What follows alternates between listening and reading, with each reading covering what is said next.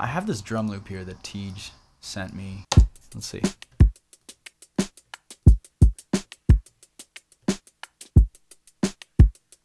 Kind of sick.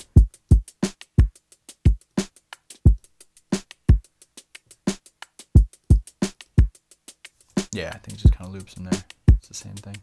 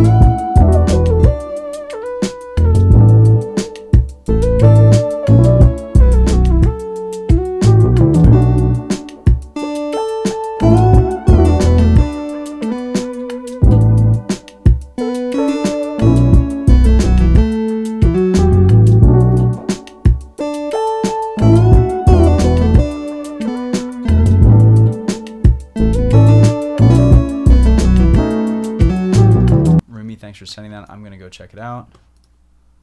Let's see here. Dope. Let's throw this in here.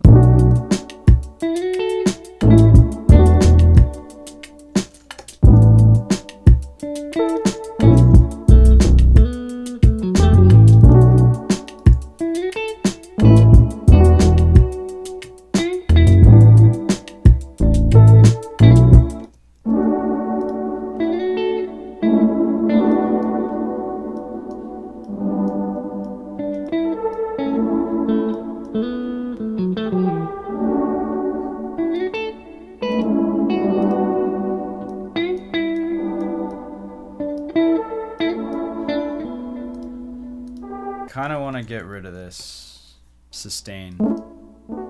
This like reverb I don't really need.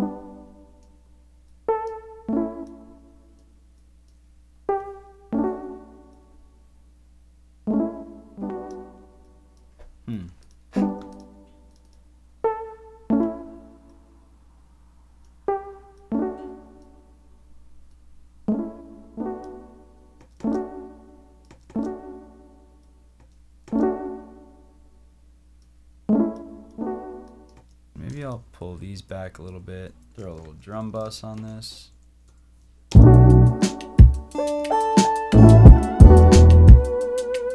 By little, I mean a fucking ass ton.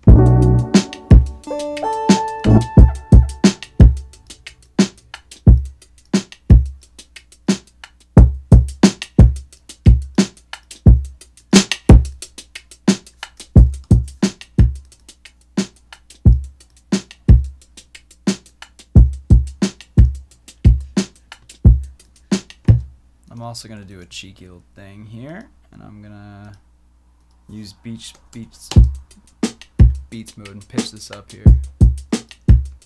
Yeah.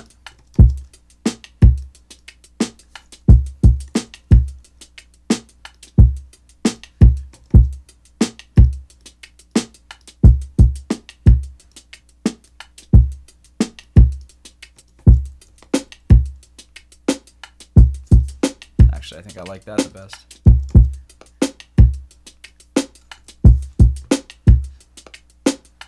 So I, I went into this view of EQ3 because I realized that we, I could actually tune like the fundamental of the snare drum.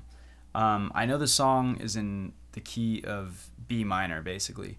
So I was boosting this frequency and then I realized down here in this little area it shows you like the musical note as well as the um, the hertz value and whatnot. So I was looking for B and I realized I was boosting the C so the, the, the fundamental of the snare drum was previously half note above or half step above the root of the musical key of the song. So I was like, shit, if I just pitch it down a half step, which I never really do, but then it would be a B. You can hear it. It's like ringing out in key, which is kind of sick.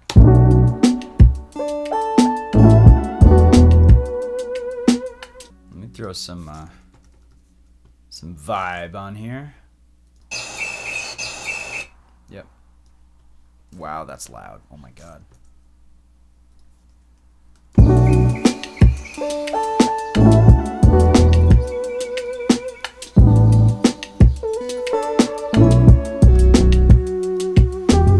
Alright, so I'm going to change the kick pattern to match the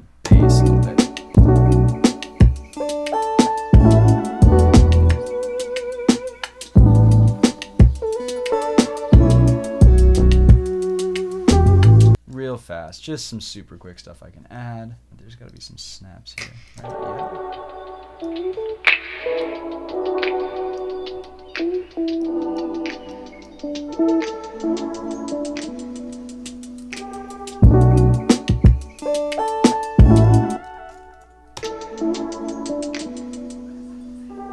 sort of fill here. Let's see what we can find.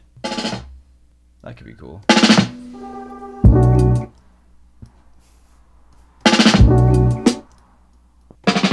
And then a nice crash here. Quick idea. I'm not sure that that's what I want to end up with, the filter on the guitar.